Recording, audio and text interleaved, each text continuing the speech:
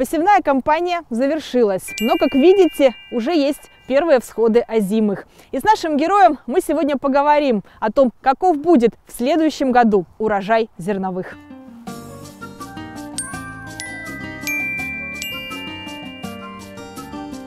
Село с весьма говорящим названием Колоски со всех сторон окружено полями, на которых почти круглый год растут как сами колоски пшеницы и ячменя, так и различные бобовые и масленичные культуры – нут, соя, вика, горох и лен. Здесь мы снимали в июне уборочную кампанию. Здесь же мы и расскажем о ходе осенней посевной. Закончилась она еще в конце октября, но мы успели увидеть ее последние этапы. Техника гремела по полям и высевала ячмень, невзирая на стелющиеся туманы и мрачный небосвод. И здесь же, в Колосках, на улице Суслова, живет наш герой – Андрей Суслов. Такое название улицы давали всей семьей, и мы уже рассказывали об отце нашего героя Александре Суслове. А теперь убедимся в том, что работать на земле и заниматься сельским хозяйством – это не только семейное дело, но и настоящее призвание и искренняя любовь нашего героя. Родился на Сахалине э, еще в 70-х годах. Тоже в селе родился и всю жизнь прожил в селе. А на Сахалине, естественно, занимались, э, ну, детство было, катались по тайге, учились, естественно, там рыбу ловили, э, красную рыбу. Вот. А, яблони, яблоки видели только в ящиках, персики видели только в банках. А когда приехали в Крым, мне было 12 лет, и когда я увидел вот так вот грузовик проезжает, а он с яблоками, и спрашиваю, а куда везут яблоки? Они говорят, ну, коровам везут. Я говорю, как коровам? Такие яблоки коровам, да.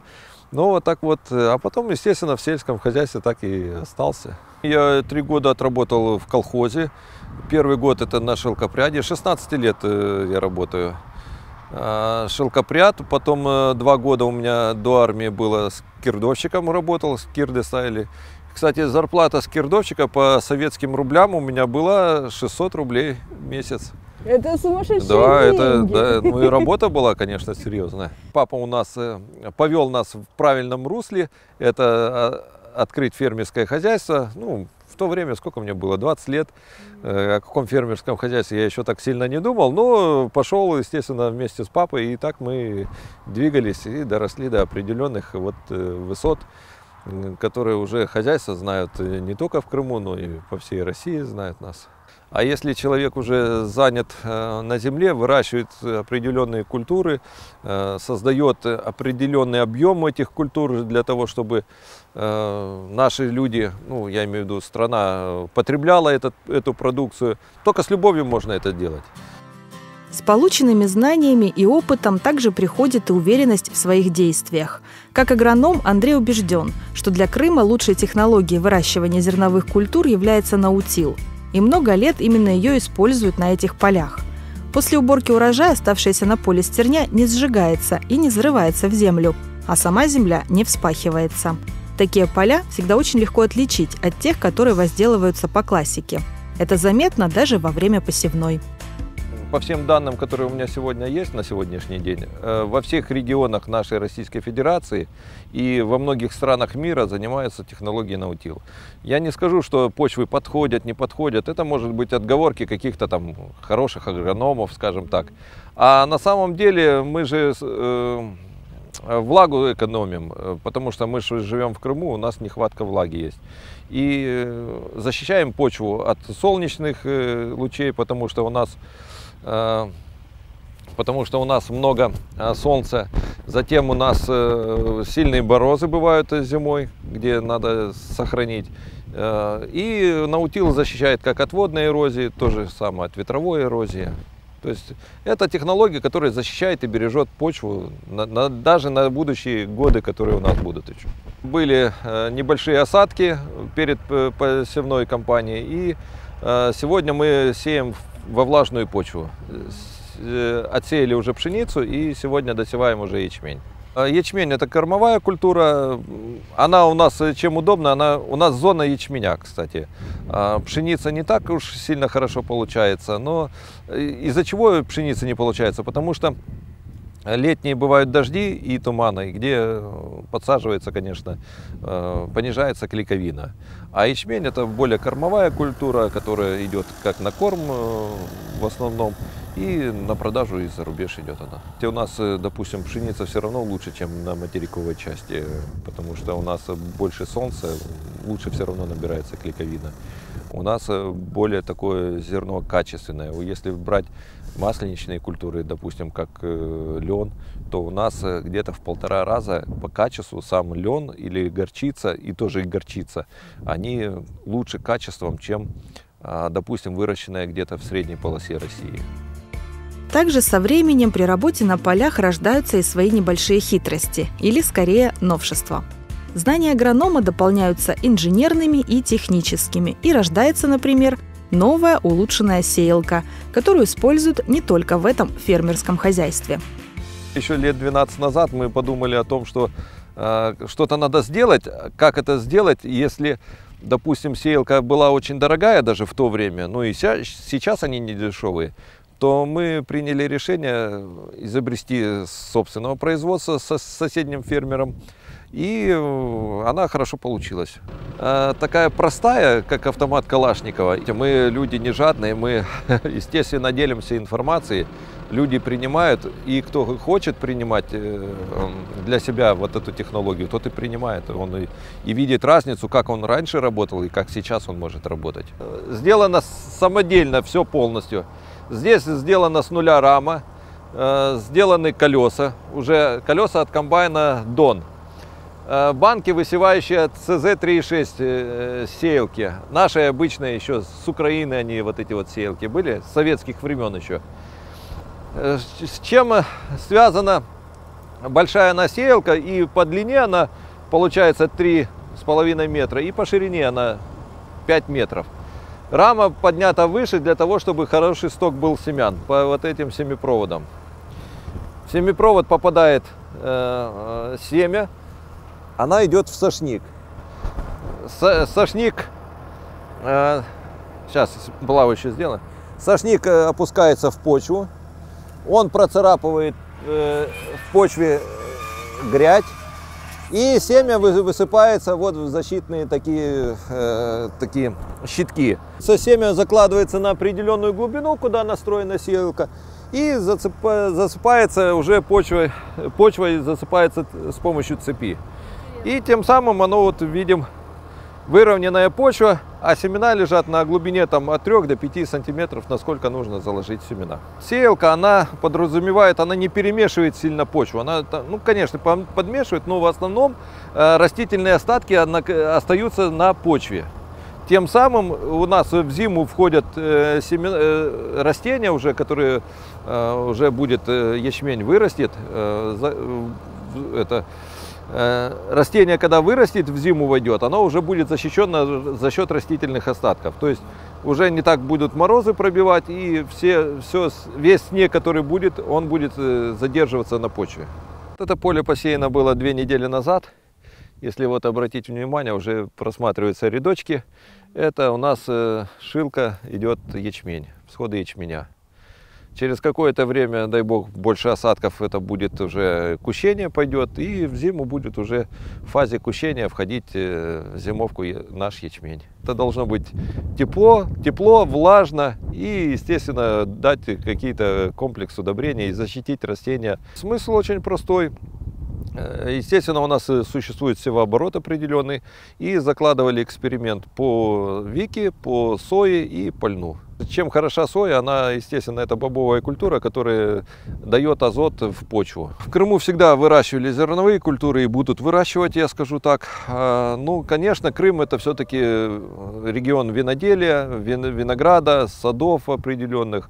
В общем, это такая, такой регион, где действительно надо чтобы все прорастало. У нас э, Крым в среднем, э, он предполагает выращивание в районе 30 центнер, ну и может быть там чуть выше, чуть ниже.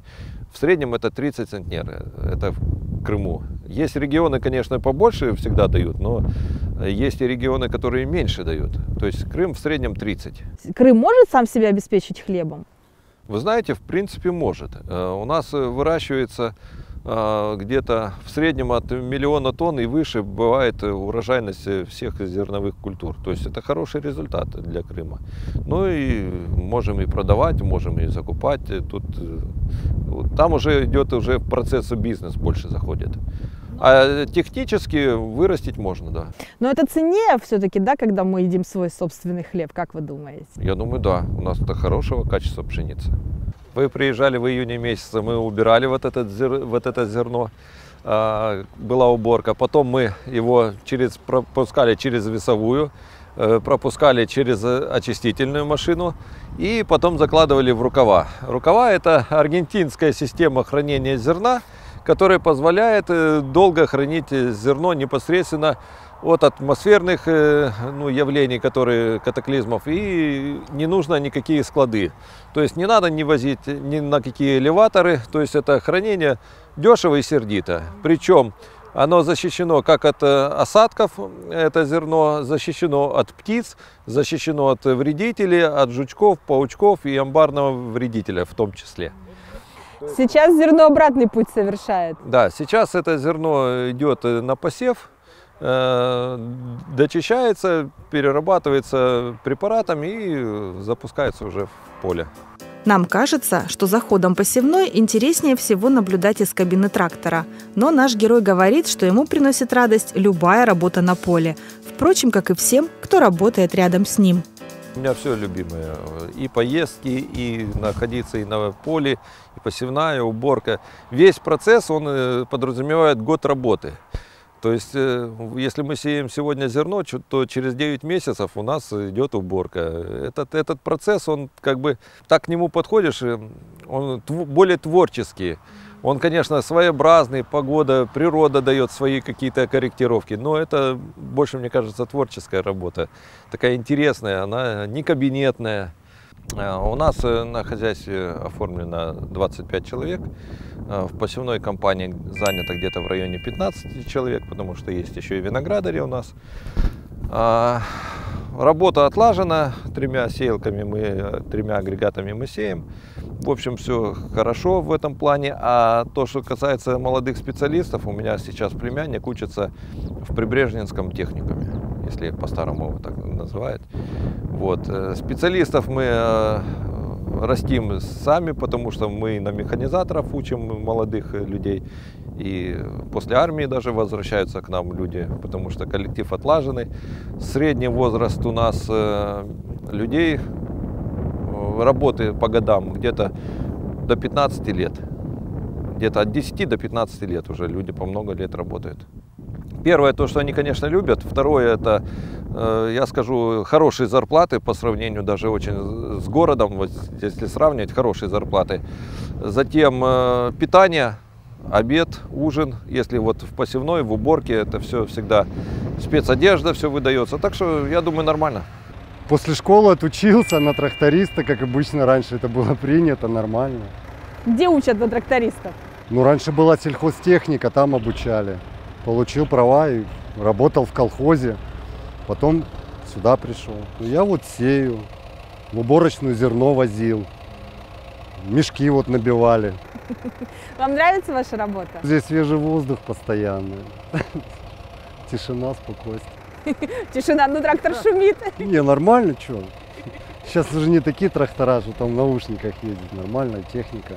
Ну, трактора с Белоруссии, белорусы делают их. Ну что, трактор вроде бы нормально, оснащен кондиционером. А что еще? В жару тоже хорошо. Хорошо, конечно, да, прохладненько. Тот же самый офис, только на свежем воздухе. В деревне мне больше нравится, чем в городе, честно. Ну, здесь как бы ту же курочку, ту же поросеночек. Как бы все свое, на рынок не бежишь. Тишина, спокойствие. Сейчас вот будут выходные, поедем где-нибудь на природу с семьей. Где-то в лес, может. Но есть еще и другие обязанности. Сейчас Андрей Суслов возглавляет Союз фермеров, кооперативов, ЛПХ и субъектов сельского зеленого туризма Крыма. Этот союз помогает фермерским хозяйствам полуострова работать и развиваться, взаимодействовать с профильным министерством, получать средства государственной поддержки.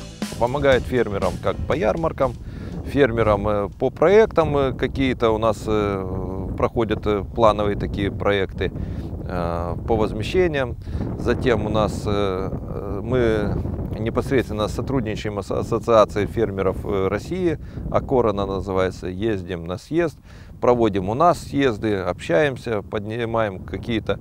Фермеры поднимают определенные житейские свои вопросы, которые как-то затрудняют их деятельность. И я думаю, мы эм, вот в этих Э, съездах, когда поднимаются проблемы, мы их решаем уже на уровне как министерства и как и Совмина даже решаем. Мы учимся у друг друга по большой части, потому что э, им есть э, чему поучиться у нас, и так же, как и мы учимся у них. А я скажу, у нас в Крыму, даже и при Советском Союзе, и при Украине все равно было на хорошем уровне. Понятно, что экономически оно все подустало за 90-е, начало 2000-х годов, но все равно уровень у нас э, хороший. Можете сказать, что увеличивается количество фермеров? Вы знаете, увеличивается, да. Если на сегодняшний день, наверное, около трех тысяч уже сегодня в Крыму фермеров, а, Фермеры получают и дотации, и получают и гранты, э, для, особенно для молодых фермеров. Это, конечно, хорошо. Мы когда уходили в фермерство, у нас не было таких э, хороших условий. Но все равно это для фермерства, ну, подарок, но небольшой, потому что надо э, вкладывать тоже больше своих средств в любом случае. Село есть село, естественно. Э, только пришло время, когда его надо все-таки улучшать, потому что село, оно все равно стареет. Э, уезжает молодежь э, больше.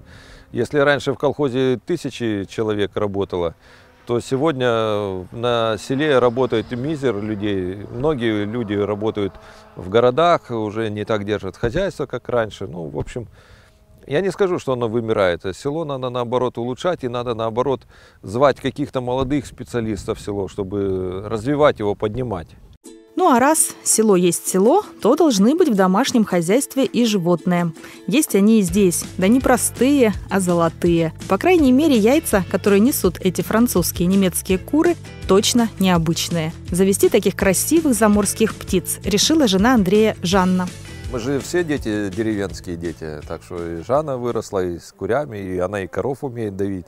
Просто уже, по сути, не, не держим коров, а курица это такая, такой, такая птица, которая не, не сильно прихотливая, но она э, предполагает такое хобби как бы. У нас в семье давно всегда куры были, а в этот раз у нас э, уже года два, как мы купили инкубатор, э, купили хорошее яйцо породистых кур.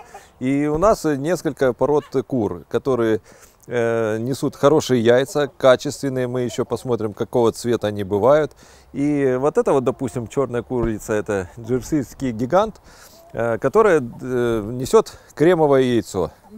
И э, тем самым это качественная порода и хорошее мясо, потому что у нас Э, куры, которые продаются в, нашем, э, в, нашем, в нашей торговой сети, они не того качества, если честно говоря. Если кушать хорошую домашнюю курицу, ну это совсем разные вещи.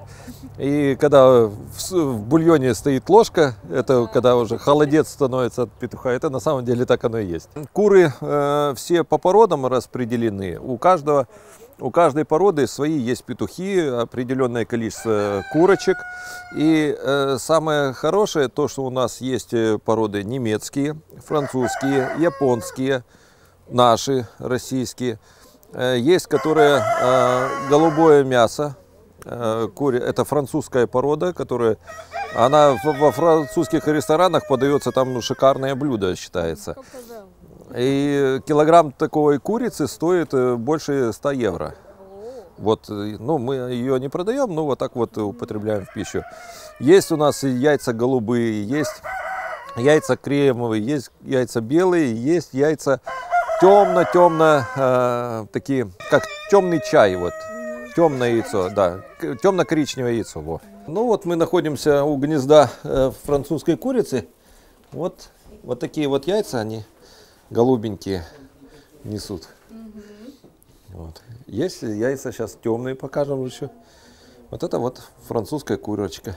А по вкусу они как-то отличаются? Вы знаете, э, вот это э, Яйцо, оно было выведено еще и японскими там э, селекционерами. Э, оно очень много там э, питательных веществ, больше, чем в обычном нашем яйце. И самое важное, что они против радиации еще лучше работают. Мы сделали такой небольшой курятник именно вот для такого небольшого количества кур и разных пород. То есть здесь вот в каждой клетке есть э, одна порода и таких 4-5 пород у нас. Э, домики делали сами? Да, да, все это сделано своими руками, все сами сделали, да. У нас как получалось? И были какие-то архитектурные планы? А, ну что, сели, нарисовали, и там через два месяца все это было сделано. Нет, сейчас, сейчас, сейчас, сейчас. Вот так.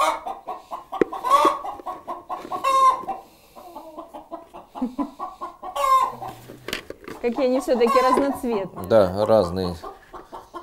Как вы на Пасху красите вообще яйца? Вообще на Пасху вот после таких пород и нечего красить, потому что, ну вот видите, как, какого цвета они. Разного. И еще есть белые яйца. Также следят за курами и очень о них заботятся местные коты. Не хулиганят, за перьями не охотятся, а спасают пернатых от вредителей грызунов. Иногда еще они заходят в гости к козлам и поросятам. Вдруг и там нужна защита. Это бложка, оказывается. Она тут курами вместе гуляет и общается. Мур-мур-мур говорит, мур-мур-мур деревенская. А раньше она вообще не подходила к людям. Козлы у нас появились э, практически случайно. Это в этом году первый раз мы за, за, мою, свою, за мою жизнь э, вот, завели козлов. А, у нас знакомая занимается козами. И у нее на откорм э, были вот эти вот козлята, мальчики. Ну, мы их взяли, вот и, кстати, ни одного еще не зарезали, потому что, ну, как-то жалко. Ну, они красавцы, конечно. Да, такие они. Чубы у них, рога уже такие стали. Мы заготавливаем сено и для них, и для вьетнамских поросят. Э, корм это зерно в основном и сено разных трав. Любят они все, они едят все, буквально. Они обгладывают даже деревья, причем обгладывают так, э, э, так дерево обгладывает, что остается одна только древесина. Очень красивая и такая гладкая. Они такие э, неприхотливые животные, они практически ничем не болеют. И что еще за них сказать? Ну, они, кстати, еще такие общительные. Мне кажется, они очень рады, что вы им принесли. Да, да, они всегда радуются, когда их кормят. Особенно вот такой зеленой травкой. Кто любит животных, кто вот так э, занимается скотиной, конечно, многие люди держат. Хотя уже, кстати, если честно, разучились уже держать. И, коров уже меньше держат, и Ну, сейчас в колосках, получается, тоже такая же история. Меньше стало животных. Вы знаете, если раньше хотя бы одно стадо было 200 голов, э, это одно стадо, а таких несколько было, то сегодня одно стадо у нас э, ну, 30-40 голов, по большому счету, вот в селе. То На есть это село мало. больше тысячи человек, да? Да, село больше тысячи, конечно. Уже мало кто держит те, которые не держат, они начинают жаловаться на тех, кто держит. И получается, воняет. Но это село. Ну, село, да. И наш герой видит, что его труд и труд всей семьи – это не только их личное деревенское счастье. Сегодня немногие решаются жить и работать в деревне. Но именно те, кто все же это делает, дают всем остальным возможность быть уверенными в своем будущем.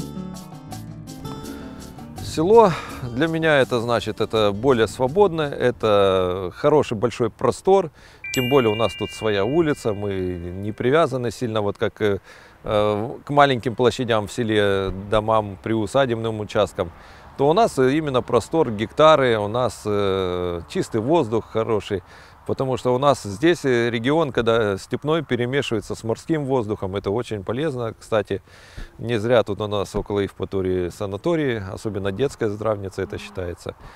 Ну, в общем, э, село мне больше нравится, чем город. На Сахалин я хотел вернуться, допустим, э, в 13-14 лет еще, еще Когда хотел. были живы да. воспоминания. Да, такое еще детство было, друзья, это э, тайга, лес, реки, рыба. Здесь я приехал, тут степи, равнина, ничего не понятно то сейчас уже нет, конечно, уже все выкли, здесь живем. У нас же она есть дочь Ксения, она работает у нас же в хозяйстве. Все в семейном бизнесе развиваем сельское хозяйство. Все, все друг с другом рядышком. В каждом сезоне есть своя определенная красота. Зимой это снег, весной это цветущие поля, э, летом это засохшие, скажем так, поля, которые Желтеющие надо желтеющие, да, такие красивые. А осенью это такая как определенная серость, которая через какое-то время будет определенная зелень полей. Но э, своего рода это э, каждый сезон это все равно Ну, Это же красиво. кайф, когда вот мы сегодня видели эти зеленые подрастающие росточки. Это же кайф видеть то, что происходит. Конечно, это процесс нашего труда, это труды, э, которые вот мы видим уже какой-то начальный результат. Это дает счастье. Я думаю, да. То, что касается земли, это любимая работа, это то творчество, которым мы уже заняты. Ну, на земле я уже, скажем так, 30 лет работаю. А счастье это то, что семья. Ну, конечно, я считаю себя счастливым человеком.